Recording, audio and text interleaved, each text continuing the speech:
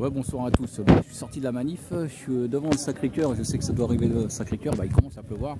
Je suis avec quelqu'un qui en manif souvent, qui veut parler, on va voir, on va lui poser quelques questions, comment il ressent l'année 2023. Voilà, je vous présente Mickaël. Salut Mickaël Salut mon cher Régis. Voilà, alors euh, je vais te poser deux, trois questions. Comment tu ressens l'année qui vient? 2023. Ouais. Euh, très très.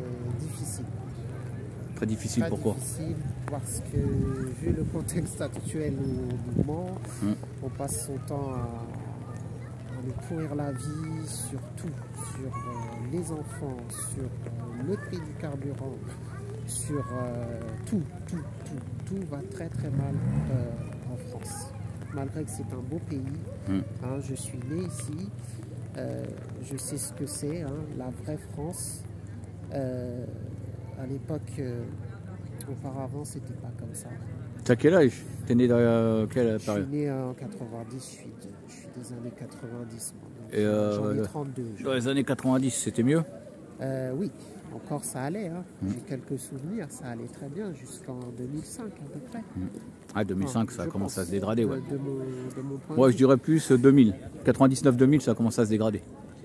Mais chacun a son, sa façon de Bon, voir les choses. après, euh, je- quand je suis venu au monde, je savais que ça n'allait pas très bien, mais je pensais pas qu'on allait aller euh, jusqu'à ce qu'on connaît aujourd'hui. C'est fort de café, franchement. euh, Waouh, c'est extraordinaire quand même ce qu'on On vit une période extraordinaire, c'est ce que je dis beaucoup. On vit une période où on est dans la... C'est un combat spirituel avant tout. Je Oui. sais pas si tu ressens pareil. Bien sûr. C'est euh, un combat spirituel, c'est un combat, on peut voir comme ça, entre les forces du bien et les forces du mal.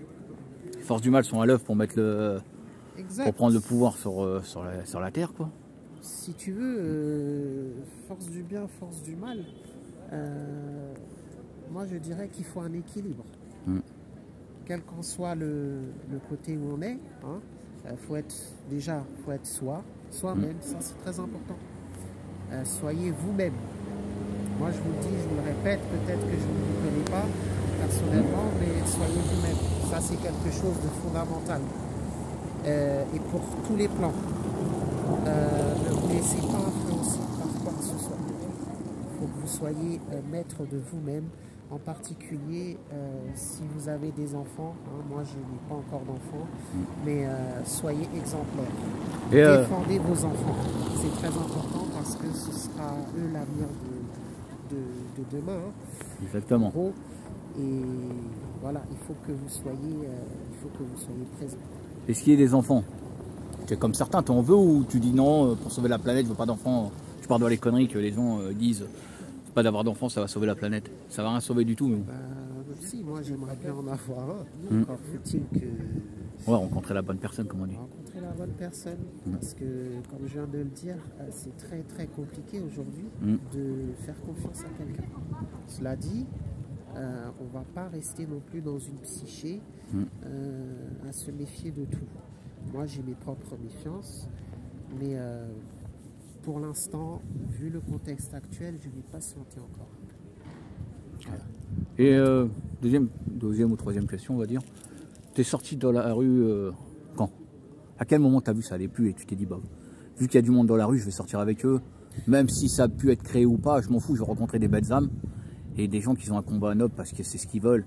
Même s'il y a eu des menteurs, des mythos dedans. Tu as rencontré des gens en manif de bonnes personnes. Oui, effectivement, bah, toi déjà, Mm. hein, pour commencer, euh, Oui, puis les autres camarades. au début, Mm. euh, bon, moi j'ai commencé à sortir euh, depuis 2021.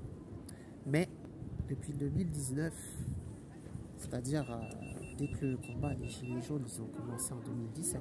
Mm. 2018. Si je, au 2018. Ouais. pardon. Donc, euh, mais dès 2019, euh, j'ai vu qu'il y avait un truc qui n'allait pas. Bah oui, Et la dite phrase de ce cher monsieur, pour pas se traquer ta chaîne, on va la faire court, on va dire M. Mm. Hein, je vois que tout le monde, normalement, doit savoir de qui je parle. Ah bah oui, quand même. Euh, la bête de l'événement est là. Voilà. Quand on annonce des trucs comme ça, que c'est biblique, Alors, lorsque c'est qu'on a une idée quelqu'un, derrière la tête quand même. euh, en gros plan à la télévision vous dit cette conversation, Mm. posez-vous une question. Euh, j'ai qui en face de moi là en fait en, en Hmm. réalité? Moi je me suis dit, j'ai tout de suite compris que J'ai un fou, un psychopathe, voilà, c'est quelqu'un quelqu'un qui a été programmé qui pour ça. pas d'âme, qui n'a aucune conscience. Hmm. Pour moi il n'a aucune aucune conscience. Et oui, moi ça me ça me fait bouillir le sang quand même de voir, Hmm. de voir ce genre Bah, D'ailleurs, il a un regard vide. hein. Tu vois, à chaque fois qu'il parle à quelque Oh, chose, moi, il a un regard vide, il n'y a aucune expression, aucune, aucun sentiment, il ressent rien. Il y a un robot. J'ai même plus envie de regarder la télé. quoi. Je veux Mm. dire, si vous avez une télévision à l'époque, euh, à la base, euh, regardez vos films. Faites-vous plaisir à regarder des films, des DVD, Mm. mais euh, laissez, laissez, les, laissez ces médias là qui ne servent rien. Euh, on vous l'a déjà dit, hein, je pense que vous le savez déjà ça. Voilà, Mm. c'est juste un petit, petite phrase pour compléter. Et puis, euh, et puis Et comment tu vois la- bah, l'année qui arrive? Est-ce que tu vois la lumière arriver ou est-ce que tu vois pire en pire? Est-ce que le pire est devant nous ou le pire est derrière nous? lumière, elle, est- elle a gagné. J'en suis sûr, elle a gagné. Sauf que on va passer une période très très difficile. Mm. Les pénuries qui arrivent, faites des réserves. Achetez-vous surtout du riz. Euh, Procurez-vous au moins un sac de 20 kilos. euh, Gardez-le chez vous et faites des stocks de conserve, Mm. euh, des stocks d'eau. Voilà, soyez créatifs. Euh, N'attendez pas le dernier moment pour Ouais. ça vous tombe euh, à Pour pas gueule, être surpris de leur pénurie préparée, euh, voulue. Voilà, ça fait Mm. longtemps, je pense, que les lanceurs d'alerte ont parlé à ce sujet. Mm. Euh, il serait temps maintenant de prendre la chose au sérieux. Moi, je l'ai pris déjà depuis plus de deux ans. hein. Euh, donc, euh, je continue à le faire. Je continue à le faire. Je ne dis pas que ça va se passer et je ne souhaite pas que ça se passe. Ouais, faut mais mieux, comme on dit, prévenir, faut mieux prévenir voilà, que guérir. Mieux prévenir que guérir. Ça a été encore dit, encore aujourd'hui. Mais euh, les, les camarades même l'ont dit hein, euh, lors de la manif des médias, euh, lors de, toutes les manifs précédentes. Mm. Faites des réserves. Mm. Voilà, Et euh, troisième ou quatrième question, que penses-tu de la division au sein de ceux qui luttent pour un monde meilleur? Est-ce que tu vois qu'il y a des divisions? Est-ce que tu les sens, tu les sens unis ou désunis? Alors, pour être honnête avec toi, euh, il y a une désunion totale. Mm. Il y a un ego surdimensionné que je perçois chez certains. Mm. Euh, moi, j'ai juste un conseil à leur dire de mettre cet ego justement de côté. Rassemblez-vous Mm. pour en faire qu'un. Voilà. Euh, il faut que vous soyez unis. Et euh, à ton avis, ils l'ont compris. Pardon Ils l'ont compris ça à ton avis Ou ils continuent à pas comprendre Euh, Il y en a qui l'ont compris, il y en a d'autres non. Hmm. Et grande majoritaire, non, ils n'ont pas compris. Alors, Ils n'ont pas encore compris. D'après ce que je viens d'observer. Oui, dans la manif, là. euh, Il y en a encore qui. euh, on se demande pourquoi ils sont là et on se demande pourquoi ils déclarent et on se demande pourquoi euh, ils veulent pas s'unir avec les autres. On- en fait, on se pose un tas de questions, on va pas mentir. Savoir s'ils sont pas envoyés là. Comme Ouais. ceux qui étaient là au début, qu'ils ont, fondé le mouvement. Ça, ça, je me le demande déjà depuis un certain temps. Mais bon, peu importe. Je, je veux dire, hein, mon cher euh, RR, Hmm. que euh, on a tous un rôle à jouer. Donc, quelque part, euh, ils ont la leur, nous on a la nôtre. Euh, on continuera le combat jusqu'au bout. Jusqu'au bout. Toi, t'es prêt à être encore dans la rue combien de temps? Euh, bon.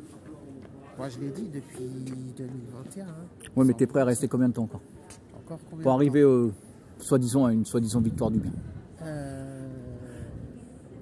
Qu'il sera nécessaire, mais quand je serai sûr que vraiment le peuple sera dans la rue. Moi, c'est clair que je serai là. Et, euh, Tout allez, comme euh, je peux donner un exemple. Euh, le 17 juillet 2021, un bon nombre d'entre vous étaient dans la rue. Là, j'ai vu vraiment le peuple. Là, on a vu qui quelque là. chose, oui. On a vu du monde. Le 24 et le 31 décembre. euh, euh, 31 décembre. le 24 et le 31 juillet 2021. Hmm. Mais après, c'est retombé. C'est retombé parce que justement, euh, ils ont été piégés. Je vous laisse deviner par qui. Ouais.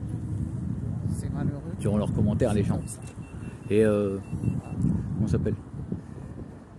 Est-ce qu'il n'y a pas, par toi qui vas souvent en manif quand même, qui ont fait plusieurs dans l'année, est-ce qu'il n'y a pas un problème d'ego dans les, dans les gens qui sont là, qui déclarent tout ça?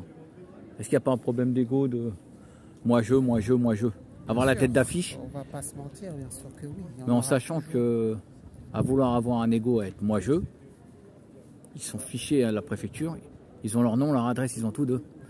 Et c'est plus facile pour les. On comprendra ceux qui comprendront.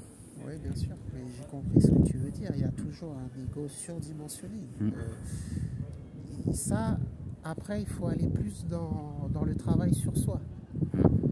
Si à chaque fois, euh, on ne se remet pas en question pour se demander, mais euh, je me- par exemple, vous vous levez le matin du- de votre lit, vous devez tout de suite vous poser une question. Qu'est-ce que je vais faire aujourd'hui?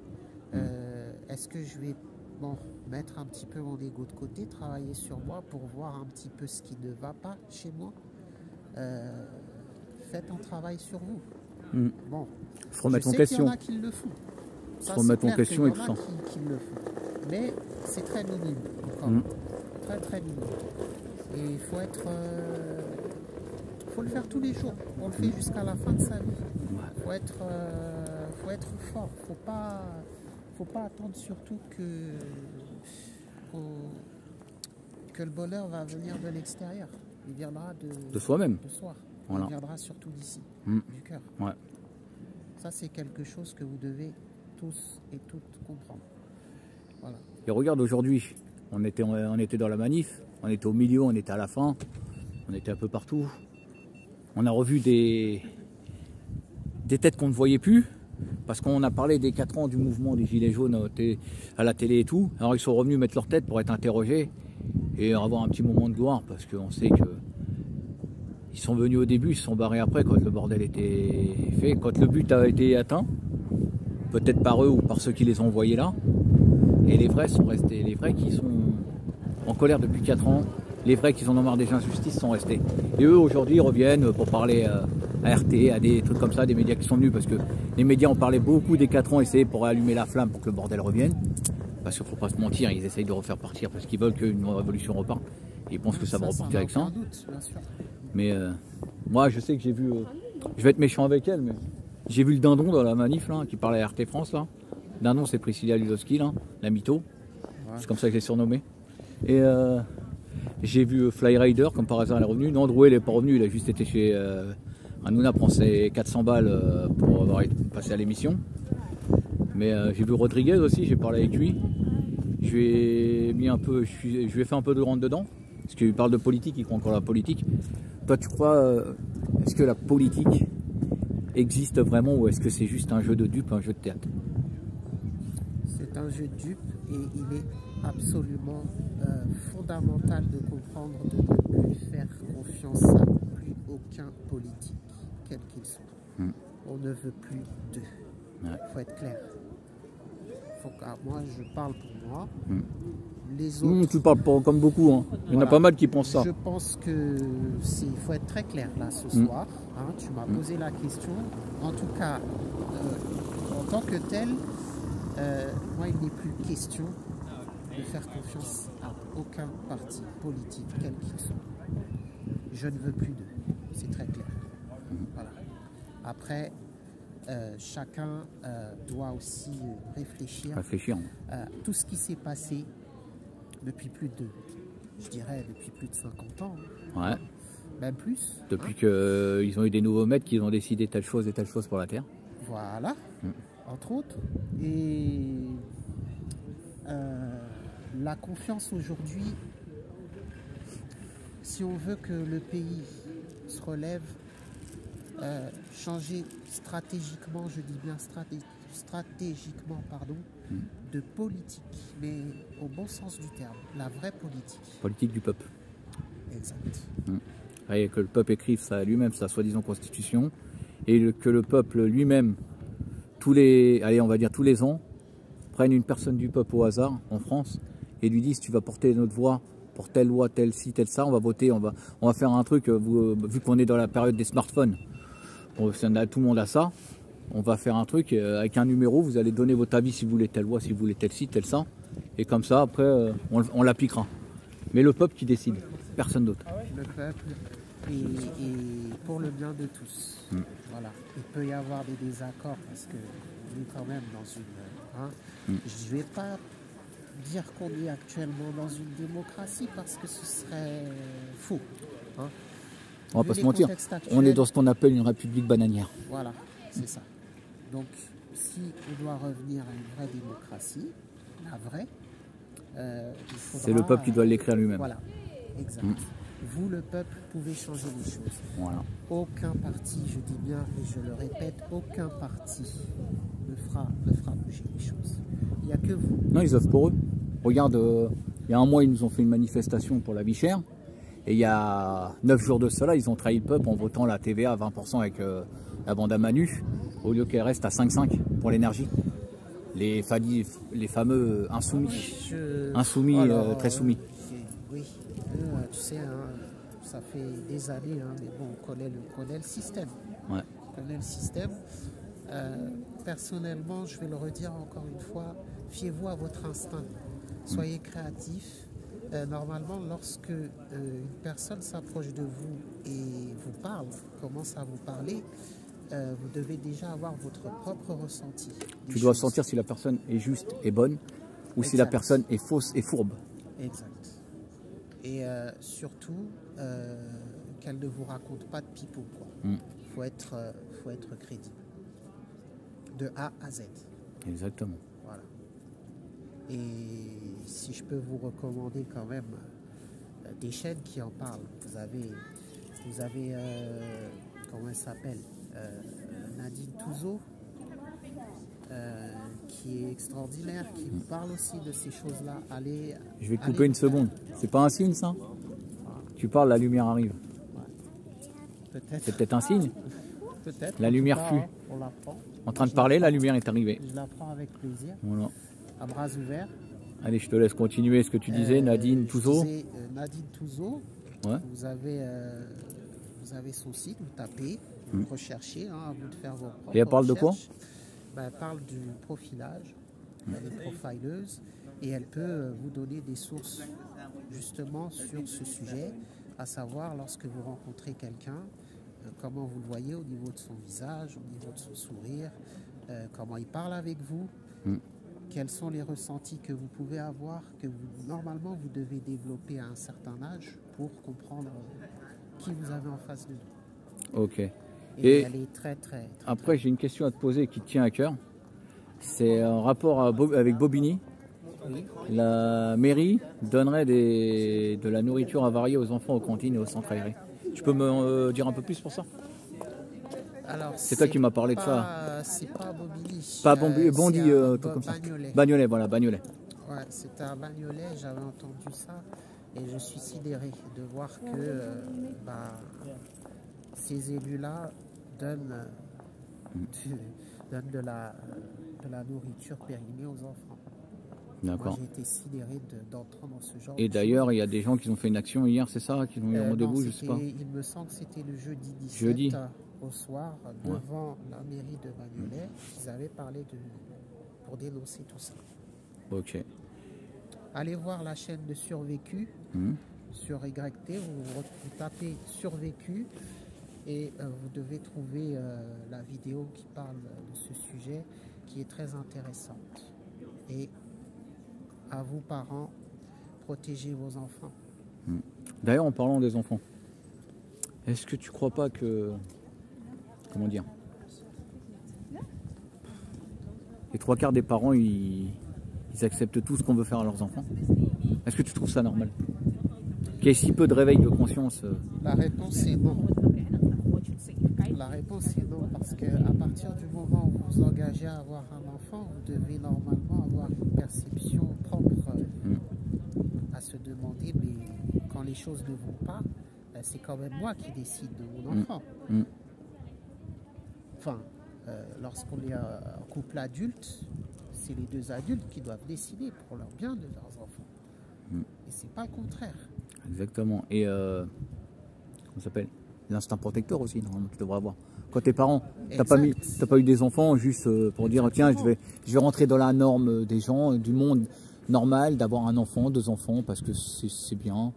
Non, tu l'as eu, tu l'assumes jusqu'à qu'il soit adulte, tu l'aides dans sa vie à prendre son propre départ, et tu dois Oui, le protéger. après, euh, voilà, il prendra son chemin qu'il souhaite prendre. Mais euh, normalement, euh, de, de 0 à, Mm. à ses 18 ans, euh, il faut être capable de dire non, surtout à beaucoup de choses qu'on nous impose. Exactement. Enfin, je parle de nous en globalité. Oui, en globalité. Mais euh, surtout, soyez vous-même. Ça, j'insiste et je le dis, je le répète, soyez vous-même et euh, osez dire non. Là, Les- il est temps. Là. Les Il enfants, c'est quand même l'avenir. Voilà, Un enfant, c'est l'avenir. Un enfant, c'est l'innocence. c'est tout. Il Un enfant- il faut savoir. un enfant, moi, savoir, d'un truc que j'ai vécu moi particulièrement, bon, c'était euh, quand j'ai eu mes enfants moi. Une fois, il y a une euh, maîtresse en CE1 ouais, qui a dit, euh, parce que ma petite fille jouait plus avec des, garçons, mais tu sais, jouer, s'amuser. Elle a dit, elle est un peu trop, euh, et ça m'a énervé tout de suite, un peu trop avec les garçons. elle c'est et c'est comme si qu'elle me disait que c'était une petite garce. Et euh, moi, je me suis énervé contre la prof. Je lui ai dit, mais toi, je crois que tu as un problème. Alors, euh, peut-être je vais en référer à l'académie. C'est mon vécu en moi, ça. Et euh, je lui ai dit, parce qu'un enfant à 7 ans, il est innocent. Il voit pas la perfection pervers que toi, tu as de. Que te- peut-être que toi, tu es une garce, parce que tu traînes avec des hommes, plus. Elle, elle joue avec des garçons, c'est normal. C'est l'innocence à cet âge-là. Il n'y a pas de pensée pervers, il n'y a rien du tout. Et surtout, il n'y a pas de jugement. Voilà. Parce qu'on est là, là, autre chose aussi qu'il faut, je pense, bien comprendre, c'est qu'on est dans un monde de jugement. Mm. Et le jugement, on peut avoir ses propres jugements, mais jusqu'à une certaine limite. Euh, j'ai appris quand même à travailler là-dessus. Bon, Moi-même, j'ai j'ai mes propres jugements. Mm. Je vais pas vous mentir, hein, j'ai j'ai mes jugements, sur, euh, surtout sur des gens, par exemple, que je ne connais pas. ou- ou voilà. Mais euh, le jugement, faut, il faut l'étudier de très près. Il faut en avoir sa propre perception, comme je l'ai dit depuis le début de la vidéo, euh, et ne pas tout mélanger. Surtout ne, ne mélangez pas tout, parce que vous risquez de tomber après dans un piège et que après vous vous demandez, bah, au final, euh, je me suis retrouvé comme un Ouais, imbécile, c'est ça. j'ai j'ai jugé la personne trop vite, et euh, au final, euh, c'est peut-être quelqu'un de bien. Quoique ça pourrait être des fois le contraire. Attention, ça aussi, parce ouais. que la trahison aussi, je sais ce que c'est. Mm. Euh, ça fait mal au début, mais après, euh, ça passe. Voilà, après, Mm. je sais pas si j'ai répondu à ta question. Oui. Et euh, qu'est-ce que tu penses que les. En fait, dernière question, allez, ça, ça sera la dernière. Qu'est-ce que tu penses que pour être un, un bon citoyen, il faudrait soi-disant dans une norme? Pardon? Là. vas-y, je me pose. Ouais, est-ce que. Qu'est-ce que tu penses qu'il faudrait. Pour être un bon citoyen, il faudrait être dans la norme, comme tous les autres imbéciles, désolé de le dire, pour 90%, qui disent non, moi je veux pas être comme ci parce que je vais être catalogué comme ça, je veux pas être comme ci parce que je serai comme ça, je vais être dans la normalité des gens, ça veut dire que je vais être un bon, désolé d'être méchant, un bon mouton qui dit, qui dit amen à tout, qui écoute tout, qui dit oui, non, oui, ça va très bien, oui, vous avez raison et tout. Toi, tu penses quoi toi? Alors, déjà, être un bon citoyen, il faut savoir dire non. Mm. Être un bon citoyen aujourd'hui, c'est tout le contraire Mm. de ce qu'ils veulent justement nous faire faire. Ça, j'ai bien compris. Mm. Être un bon citoyen, c'est ça, c'est justement Oui, défendre ses valeurs. C'est savoir les bonnes valeurs, se respecter, Voilà. savoir les choses qui sont bien et euh, défendre ses réfléchir quoi, réfléchir. défendre aussi ses propres convictions, euh, les convictions du, du pays dans lequel on vit, et, et, euh, même je pourrais dire à la limite toute la planète, parce que tous les pays sont concernés, quels qu'ils soient. Mais euh, pour parler de la France, soyez, soyez vous-même. Soyez vous-même. Allez porter votre voix. Faites, dites non, je ne veux pas. Mm. Personne ne. Personne Quitte à être catalogué dans l'autre côté, euh, En dehors des clous, comme on dit. Voilà. Vous voyez ce que je veux dire Après, je pense que j'ai déjà tout expliqué au Mm. début. Euh, mais pour en revenir à ce que tu me, la question que tu me poses, c'est nos choix, nos valeurs, nos convictions. Il faut les défendre jusqu'au bout. Et Exactement. dire non. Ok. Dire non. Euh, une dernière chose peut-être. Ouais, vas-y. pour, euh, pour- pour Si t'as conclure. du, si du, comment on dit, du peps à donner aux gens pour qu'ils restent qu'ils sont, qu'ils portent, continuent à porter les valeurs qu'ils ont, qu'ils aiment, et euh, ne Bah. rien lâcher, ne pas se laisser morfondre, ne pas se morfondre. Moi, j'ai quand même un, un conseil à vous donner. C'est pas parce que les choses vont mal aujourd'hui que vous allez euh, vous priver aussi de vivre. Mm. Il faut continuer à vivre. Il faut continuer à, à écouter votre musique. Mm. Euh, À sortir, aller en vacances, à aller se balader en famille si vous avez des en enfants, vacances, à s'occuper d'eux, à jouer avec eux. Voilà, baladez-vous. Mm. Euh, J'arrive plus à parler. Baladez-vous en forêt. Mm. Ressourcez-vous. Le dimanche matin, Ouais. c'est très très calme. C'est un, c'est un bonheur, mais vous ne pouvez pas imaginer. Coupez Mm. au moins votre téléphone le dimanche matin et allez vous balader en forêt si vous en avez une tout près. Ou dans la région, en tout cas en Ile-de-France, il y en a beaucoup. C'est pas ça qui manque. Mm, C'est clair. Il y en a partout. Euh, Baladez-vous en forêt pendant au moins un minimum deux heures. Mm. Je vous assure, je vous le garantis, ça vous fera du bien. Ne faire, ne faire qu'un avec la nature. Voilà. pour Ok. votre cerveau, pour votre sang, votre corps physique. Parce que quelque part, on est quand même relié à la terre-mère. Mm. La terre. Ouais. Donc, euh, voilà, sortez, bougez, euh, quoi, tant qu'on peut vivre, vivre. Écoutez de la musique aussi, surtout et surtout, une Ouais. chose, bah, coupez la télé. Voilà, c'est ça. C'est un conseil que je vous donne.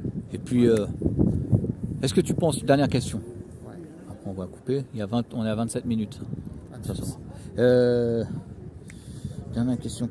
Est-ce que tu penses pas qu'il faut mieux laisser installer le chaos complet pour peut-être de ce chaos provoquer un autre chaos qui fera partir ceux qui Quitte à, même s'ils s'allient avec ceux qui ont provoqué le chaos. Avec le chaos voulu. Parce qu'ils veulent le chaos, mais il y en a qui vont l'imposer le chaos, il y en a d'autres qui vont s'infiltrer dedans, mais qui seront. Parce qu'il y a- il y a des vraies choses qui veulent que ça change. Et est-ce que c'est pas à ce moment-là qu'il faudra profiter quoi? Ça sera vraiment le chaos de ressortir et de se faire, se faire entendre quoi. Et de le dégager, clairement. Je pense. De toute façon, on va arriver à un stade. De toute façon, moi je le dis déjà depuis le début, Mm. euh, il faut qu'on passe par là. Mm. Parce que si on continue à vivre de cette façon-là, d'ici, je dirais même pas d'ici 15 ans, Mm. hein, on va pas trop se projeter dans l'avenir, parce qu'on ne sait jamais comment demain sera fait. mais, Mm. euh, dites-vous bien qu'il n'y aura plus du pain. Je vous rappelle quand même qu'ils veulent à tout prix euh, supprimer le carbone. Qu'est-ce que c'est que ces gens-là Ouais. Ça voudrait dire alors que moi et toi, on est, on est fait de carbone. hein. Ouais. Moi, je rejette Ouais. du CO2. Ah oui. Les arbres qui autour Rejettent du CO2 et tout. du CO2. Et heureusement qu'ils sont Ils veulent nous mettre dans une bulle vide euh, en fait, euh, Bah, je sais pas avec quoi pour re- respirer ou quoi, mais euh, si- si- si ils sont pas veux- logiques de leur connerie en fait. Si tu veux, les, les arbres, euh, heureusement qu'ils sont là parce que je pense que c'est eux qui récoltent le plus de. Ouais, de 85% saletés par de, de saleté, ouais. Euh, Voilà. Mm. Posez-vous les bonnes questions. Est-ce que vous avez vraiment des êtres humains en face de vous lorsqu'ils vous disent oui, on veut supprimer le carbone? Ah ouais. Bon, Moi, je sais très bien que non. Mm. Euh, ouais, on a mais affaire pour répondre à ta des question, êtres bizarres. Pour moi, c'est nécessaire de passer par là. Ça va être dur pour tout le monde, mais il va falloir Ouais, c'est une épreuve. Faut voir ça comme une épreuve. tenir. Faut voir ça euh, comme une épreuve qui est voulue. On a On a tenu, tenu, on a tenu jusque-là. on a tenu la première épreuve. Voilà. On a tenu la première épreuve, qui était on sait tous quoi. voilà. Faut qu'on tienne la deuxième et la troisième et la quatrième et la cinquième, peut-être. Et après, peut-être tout ça s'arrêtera. Quand ils auront fini de tester, quand ils auront fini, comme on dit, de tester les, les vrais qui ont peur de rien, et que malheureusement les plus faibles euh, partiront sûrement. J'ai confiance quand même à la Ok. mon instinct de, de confiance. Ok. Après, il faut avoir le vôtre et surtout rester positif. vibrez, écoutez, euh, écoutez les gens qui vous font plaisir. RR, j'ai dit Nadi Touzo, mais il y a aussi certains médiums aussi, pas tous, mais certains médiums aussi Mm. qui sont très bien. Je pense euh, notamment à Christophe Jacob et Babette, et également euh, Angélique Médiumnité. Ouais, je connais pas. Moi, je vais pas trop sur les trucs de médium. Mais bon, Mais voilà, moi je sais que c'est des gens euh, qui sont très bien. En particulier ceux que je viens de, de citer. Euh, voilà, ce sont des personnalités que je vous recommande d'aller voir et après vous fiez votre propre opinion. ok. Voilà. Bon, bah merci à toi, Michael. Te prêté au jeu de répondre à des questions. Et on euh, sait que tu seras encore dans la rue de temps en temps, euh, Voilà, et qu'on se recroisera sûrement. Parce que notre instinct fera qu'on ressorte encore. Malgré qu'on on en a marre qu'on dise qu'on croit plus aux choses, qu'on qu'on dise que ceux qui nous emmènent là font- nous font tourner en rond et tout ça, mais bon, Après, euh, on le fait parce qu'on est des belles âmes. je, moi j'ai fait ma part et je continuerai à la faire, enfin faire ce que je pourrais. Je ne dis pas que je suis parfait, mais Ouais, bah non, on n'est pas parfait, on n'est pas. voilà, après, On est il y ce en qu'on a est. qui me connaissent, il y en a qui ne me connaissent pas. Euh, voilà, je, je suis tel que je suis. Ok. Bon, je te remercie. merci à toi. Bonne soirée. Bonne soirée à toi. Vas-y.